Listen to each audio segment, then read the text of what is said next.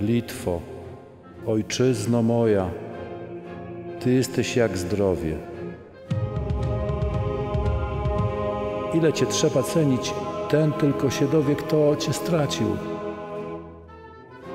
Dwa zwaśnione rody. Bunt, zazdrość, miłość.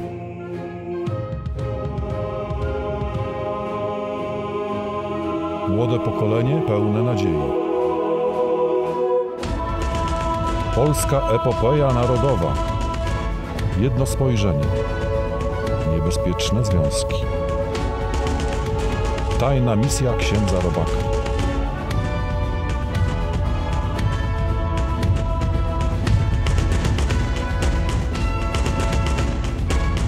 Piątek, sobota, niedziela.